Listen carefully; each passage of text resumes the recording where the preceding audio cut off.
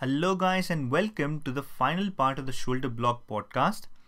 In this part 3, we'll be talking about ultrasound guided suprascapular nerve block and axillary nerve block.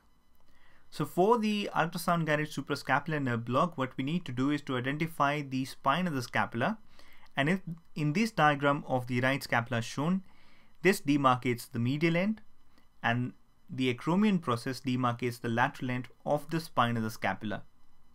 What we need to do is to get near the suprascapular notch which lies midway between these two points. So with the ultrasound probe in position 1, we try and visualize the medial end of the spine of the scapula.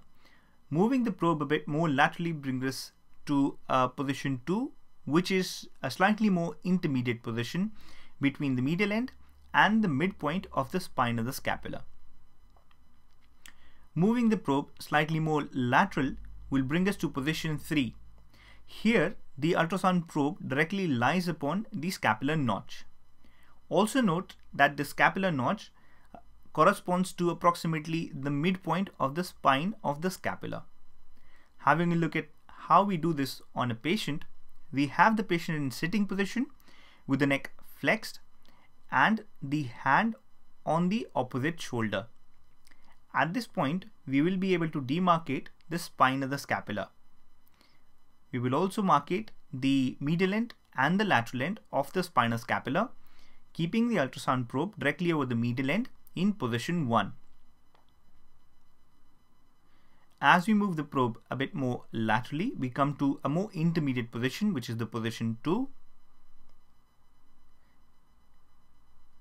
and moving the probe furthermore laterally, we come to lie directly above the suprascapular notch.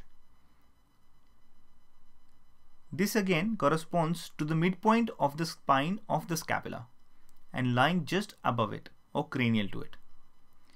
Having a look at how this looks on the ultrasound, here we can see the medial end of the spine of the scapula and the trapezius lying directly above it in position 1 Moving the probe a bit laterally, we come to position 2 where we can identify the fibers of trapezius and supraspinatus muscle. Finally, moving the probe further lateral brings the suprascapular notch into view and this is the position 3. Here we can see the suprascapular nerve lying in the suprascapular notch and the transverse superior ligament covering it you may or may not be able to see the pulsations of the artery at this level. What we need to do is to bring the needle from medial to lateral direction, aiming towards the suprascapular nerve and spilling local anesthetic around it. Let's have a look at an actual uh, block. So here we can see the needle coming from medial to lateral direction, transversing through the trapezius. And as it comes to supraspinatus level, you can see the pulsations of the artery sorry, not the pulsations of the artery, but the movement of the muscle as the nerve is stimulating the muscle itself. We move the probe to try and bring the needle into view, and now we can see the lowermost fibers of the suprascapular, uh, the uh, supraspinatus muscle getting stimulated.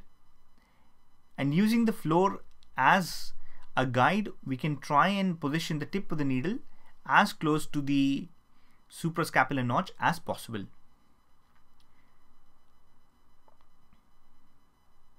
Remember this is a 3D structure and just a 2D uh, image of the suprascapular notch as seen on the ultrasound is not enough to understand how easy or difficult it is to place the needle in the respective area. There we are depositing some local anesthetic around the suprascapular notch and about 5 to 10 mils is enough to produce a decent analgesic block.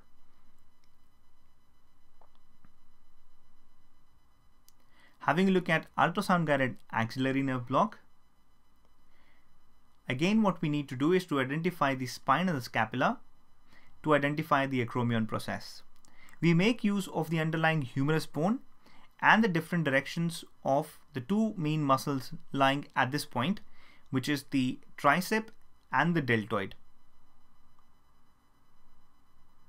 The axillary nerve lying in the quadrangular space emerges posterolaterally and is approximately can be seen under the fibers of the deltoid just as the tricep ends and the deltoid begins and this can very nicely be seen on the ultrasound. We place the ultrasound probe first in position 1 in the posterior arm along a vertical line that passes through the acromion process. And at this point we can see the fibers of the tricep. Next we need to move the ultrasound probe vertically cranially along this line.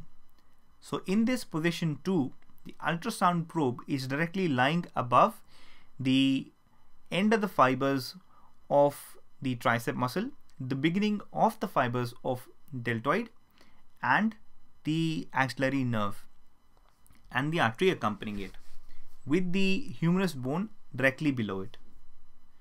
Further moving the ultrasound probe into this final position which is position 3 you will be able to see the head of the humerus which is curved coming into view which confirms that this structure is actually the humerus. Having a look at the anatomy in a patient, you need to identify the spine of the scapula. The lateral end, which is the acromion, is important. Dropping a vertical line through the acromion process helps demarcating the line along which the probe needs to be moved. Also note that the top of the axillary fold demarcates the point or the horizontal level where the axillary nerve will lie. So in this position 1 along uh, this line we would see triceps first. Moving the probe a bit more cranially we come to position 2 and from this diagram we can easily understand how we would be able to see the axillary nerve under the fibers of deltoid. Finally moving the probe a bit more proximally you would come to position 3 where the curvature of the humeral head would come into view confirming the anatomy for us. Let's have a look at the ultrasound picture.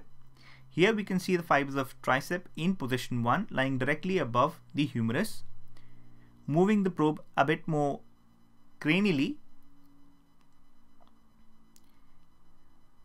the fibers of deltoid now come into the view and we can easily see the difference in the direction of tricep fibers and the deltoid fibers here. Moving the probe slightly more proximally. Now this is position 2 where the posterior circumflex humeral artery and the axillary nerve lying above the humerus but under the deltoid come into view. Moving the probe furthermore cranially